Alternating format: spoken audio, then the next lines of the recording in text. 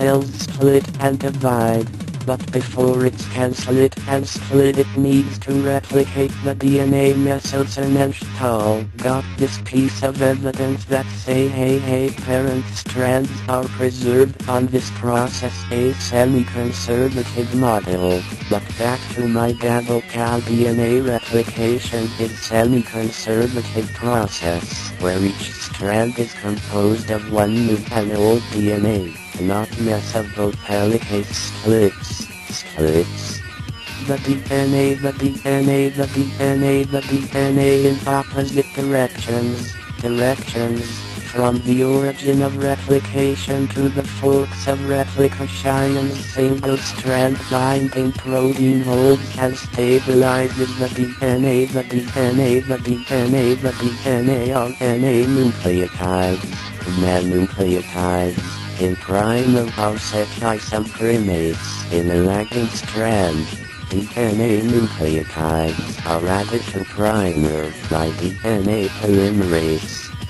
3. The DNA polymerase 3 block the DNA polymer 3 from 3 to 5 is the direction of the enzyme work polymerase turns primer into fragments and works until it hits another primer it attaches, attaches,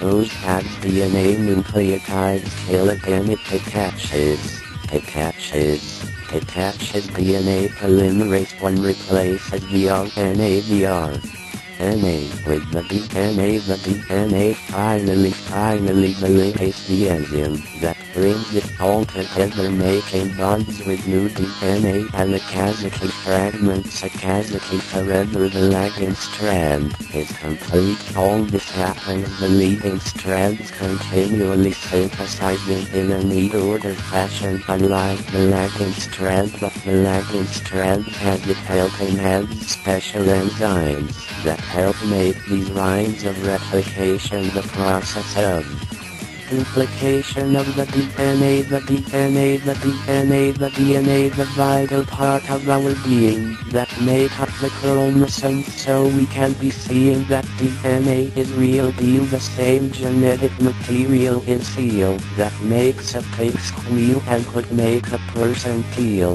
if there's misprint room for errors DNA using correct itself and makes mirror images. But that's another chapter 1 have been your pastor of DNA replication and like a running back that can't get to the line of scrimmage I'm out.